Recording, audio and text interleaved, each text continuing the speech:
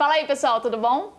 Então, a gente está arrumando as nossas malas agora para viajar e eu resolvi mostrar para vocês todos os equipamentos que eu tô levando. Quer ver para que serve isso tudo aqui? Confere aí nesse vídeo.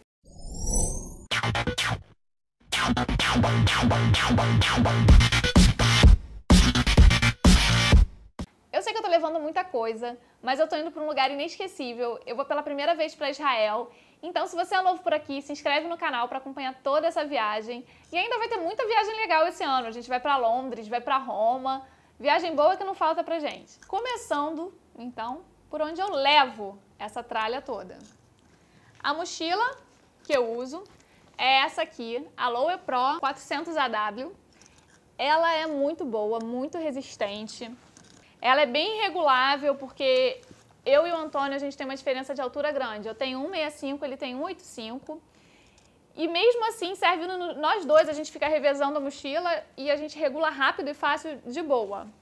O que eu mais gosto nessa mochila aqui é que aqui na frente tem só uns bolsinhos que eu guardo pouca coisa, coisa sem valor, mas o equipamento mesmo fica protegido. Eles só consegue abrir por aqui por trás. E aqui dá para guardar tudo dentro, até meu tripé, meu tripé de viagem, cabe aqui. Aqui eu levo o tripé, aqui eu levo a câmera com uma lente, outra lente, outra lente, meu case com as baterias e o microfone da Rode. Se eu quiser levar o tripé do lado de fora, levar mais coisa dentro da mochila, eu consigo. Tem um bolsinho aqui que sai, a gente coloca o tripé. Dá para levar duas garrafas de um litro e meio de água de cada lado e acreditem, eu levo. Às vezes ainda coloco uma lancheirinha pendurada aqui, que ela tem esses bolsinhos que dá para você pendurar lente, lancheira.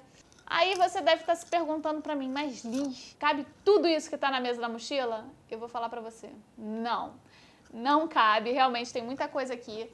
Então eu sempre viajo com uma bolsa bem grandona, dessa vez eu vou levar essa daqui. Tudo que está nessa mesa cabe nessas duas bolsas. Então vamos começar falando da estrela dessa mesa, que é a minha máquina fotográfica Canon 80D. Eu uso ela tanto para foto quanto para vídeo. Esse vídeo está sendo filmado com 80D emprestada.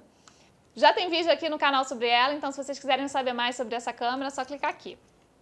As lentes que eu tô levando. Essa daqui é uma Canon 50mm. Todo mundo no outro vídeo me falou para comprar essa lente. E eu não comprei, essa é emprestada. A que eu mais gosto, a que eu mais uso, é que eu tô filmando esse vídeo agora, que é a Canon 24mm. A 50mm você precisa ter uma distância de você pro seu objeto que você tá filmando. Quando eu tô viajando, eu não consigo tirar uma distância dessa sem passar alguém na frente. Às vezes não tem nem espaço físico mesmo para eu me afastar tanto. Então, a 50mm não serve para mim. Bom, agora esse frame que vocês estão vendo é com a cinquentinha, você vê como vocês ficam bem pertinho de mim. Mas não é isso que eu preciso nas viagens. Ela está na mesma distância que a 24mm estava. E essa daqui, da 24mm, olha como a câmera fica pequenininha com ela. Parece que a câmera nem tá com nada com ela. Outra lente que eu levo é a 1018, que é a lente que eu uso para fazer vlog, que eu consigo me filmar assim, ó. E fica bom. Outra lente que eu tenho, que eu levo sempre, é a 1835, que é a lente do kit. E se vocês me perguntarem se eu gosto dessa lente, a minha resposta é não. Eu acho que ela é escura e a imagem dela não é muito nítida. Eu prefiro usar 24mm filtro.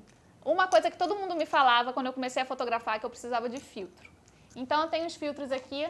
Os filtros estão nesse case aqui da altura, mas eles não são da altura, eles são da Roya. Mas eu descobri que eu nunca uso isso daqui. Então eu só botei aqui em cima da mesa porque estava na mochila. Inclusive eu vou tirar, não vou levar. Eu tenho filtro Circular Polarizer e dois ND, um ND4 e um ND ND8, que é basicamente um óculos escuros para sua lente, para o sol não estourar a imagem.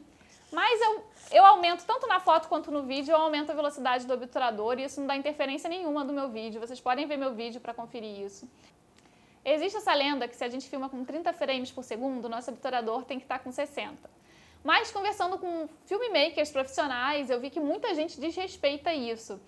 Então eu uso a velocidade do obturador é que eu tenho que usar na hora e ignoro a existência do filtro, porque às vezes eu não tenho tempo mesmo, numa viagem principalmente, de ficar parando e colocando um filtro na máquina. Então isso daqui eu não vou levar assim, eu tenho uma teoria que equipamento foi feito para ser usado. Então, não importa onde eu vou, eu levo o meu equipamento. Eu vou para a praia, eu levo, eu vou para o deserto, eu levo, eu vou para neve, eu levo. Mas eu tenho o maior cuidado depois quando eu chego, eu limpo tudo minuciosamente, tanto o corpo quanto as lentes, eu limpo bem limpo. E aí para limpar, as lentes e o monitor do LCD, eu uso esse lens cleaner da Zeiss. Uso a lens pen, a lens pen eu uso mais por causa desse pincel aqui. Na verdade, ela já tá seca, aí o que, que eu faço?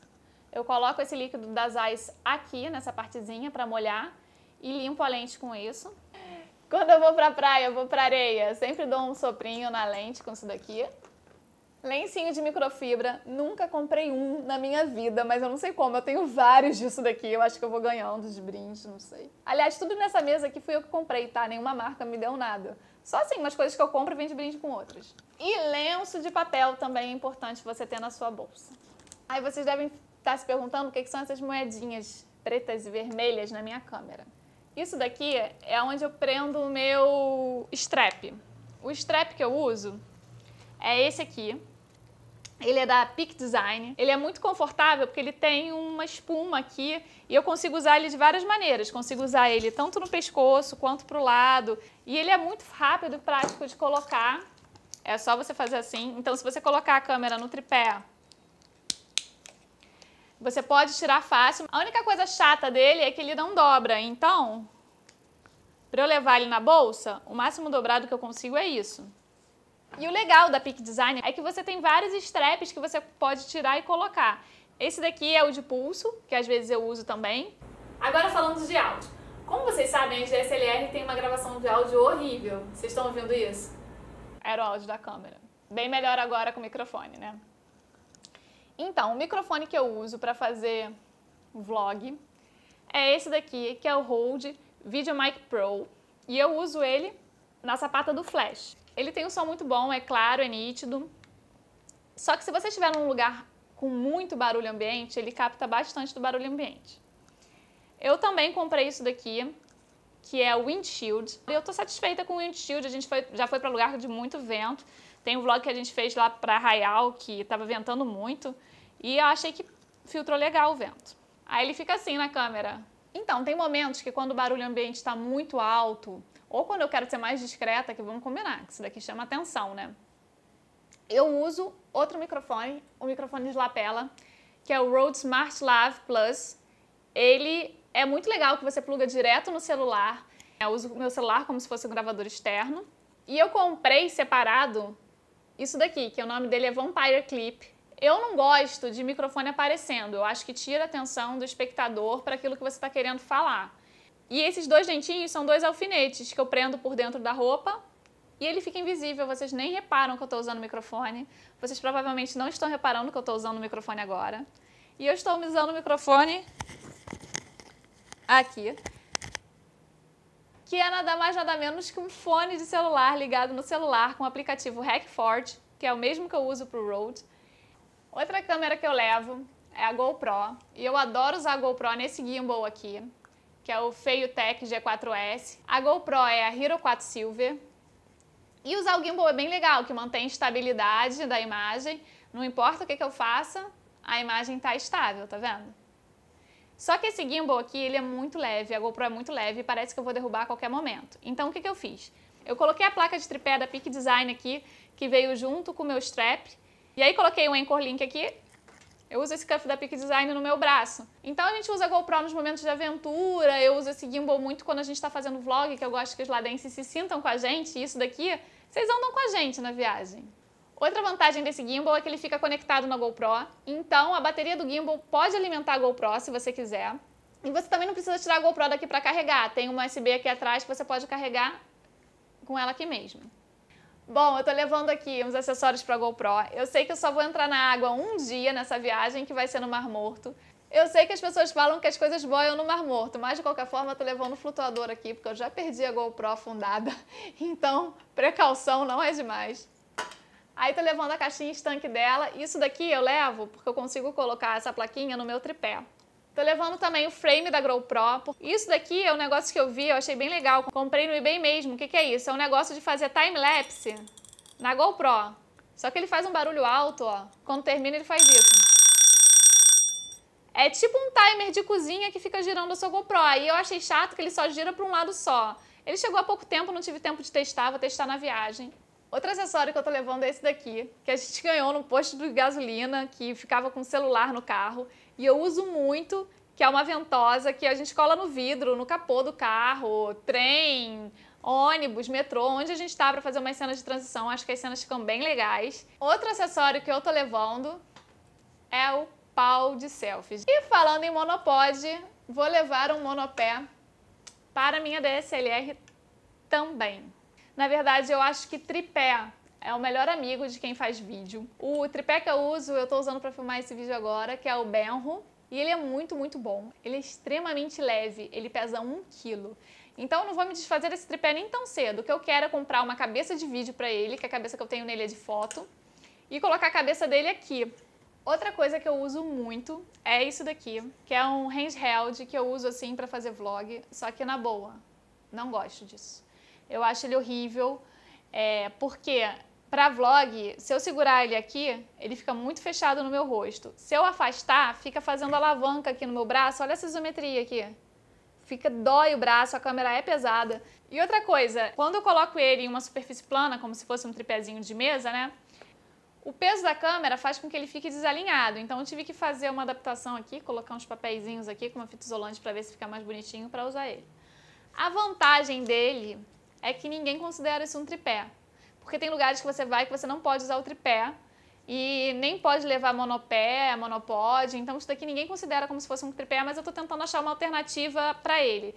Eu sei que muita gente para fazer vlog usa o Gorilla Pod porque ele te dá uma distância maior aqui, você pode ficar com o braço aqui, não precisa fazer essa alavanca. Então me diz aí a solução que você tem para mim, para fazer um vlog. E a terceira câmera que eu tô levando foi presente do Antônio. É uma Stax Mini, roxa. Tô adorando, tô levando bastante filme para ela, porque eu quero tirar muita foto. Eu acho legal essa coisa de viver offline, de ver a foto na hora, assim, como é que ficou, ver em papel. Acho que tem uma vibe diferente. Então vou levar ela, pretendo fazer muitas fotos em pontos turísticos com essa maquininha aqui. Bom, e quem leva essa quantidade toda de eletrônico precisa levar muitas pilhas e baterias, não é mesmo? Começando pela Canon. A bateria dela é muito boa, dura bastante. E um dia de vlog eu uso duas baterias, três assim, um pedacinho da terceira no máximo. Então eu tenho quatro baterias, guardo elas sempre com essa plaquinha amarela, porque na plaquinha amarela tem uma pilhazinha desenhada. É, se tem a pilhazinha desenhada em azul, eu sei que a bateria está cheia. Se eu colocar o contrário, a pilhazinha fica preta. Então eu sei que essa bateria está vazia e eu preciso carregar. Para GoPro, eu tenho três baterias, mas como o gimbal carrega a GoPro, eu não preciso ficar me preocupando de ter um monte de bateria de GoPro. Então, eu tenho mais três pares de bateria do gimbal. Eu também levo esse carregador portátil aqui, que dá para carregar a GoPro e as baterias do gimbal. Para essa máquina aqui, eu tô levando quatro pilhas AA, só que eu tô levando pilha descartável mesmo. E o microfone Rode VideoMic Pro, ele usa as baterias de 9 volts. E a bateria dele, gente, nunca acabou. Sério. Assim, depois de cinco dias fazendo vlog em Paraty, eu troquei a bateria só por segurança. Para carregar isso tudo, precisa de tomadas. É importante você levar um adaptador de tomada, esse daqui é universal. Eu também levo um Benjamin e uma extensão. Precisa de carregadores. Eu levo carregador de tudo, organizadinho aqui. Então eu comprei isso daqui, que na verdade é um organizador de HD e de cabo de computador. Aqui tem carregador Canon, microfone, gimbal, esse aqui que eu uso para ligar o carregador da GoPro na tomada, cabo da GoPro, do gimbal e da câmera, cartão de memória. Eu levo dois cartões de memória de 32 GB e um de 128 GB. Eu levo três cartões de memória. E como eu gosto de tudo organizadinho, eu tenho essa bolsinha aqui onde eu organizo todas as baterias. Isso daqui, quando eu tô sem paciência, às vezes eu não quero levar a mochila toda, coloco a câmera aqui dentro e coloco ela dentro da minha bolsa mesmo. Também levo bolsinha da Instax, que quando o Antônio me deu, ele me deu com tudo, me deu com essa bolsinha também, que nem precisa tirar ela aqui de dentro para tirar foto, isso daqui solta. Aí você consegue tirar foto com ela aqui dentro mesmo. O case onde eu levo o gimbal. Foi o case que veio com ele. Eu não gosto desse case, não achei um outro case porque quando eu estou usando isso na vida real, na rua, eu uso ele inteiro, quero guardar ele inteiro e depois pegar ele inteiro. Esse daqui não, esse daqui eu tenho que desmontar para poder guardar. Então, não gosto. Preciso levar meu computador para colocar as coisas do cartão de memória aqui, porque eu gravo muita coisa. Às vezes eu gravo mais de 30 GB num dia só, 60 GB. Ele é bom que ele é leve, um Ultrabook de 14 polegadas. E o legal nele também que eu fiz, eu substituí o, HD dele, que era magnético híbrido, né, para um HD só de SSD. Então eu passo as fotos bem rápido para ele.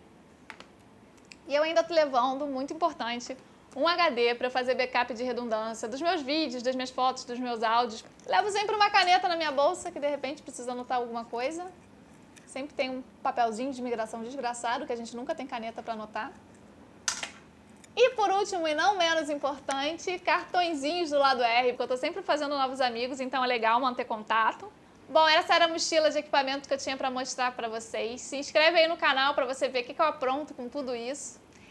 Curte esse vídeo, compartilha com seus amigos que adoram foto, vídeo, viajar.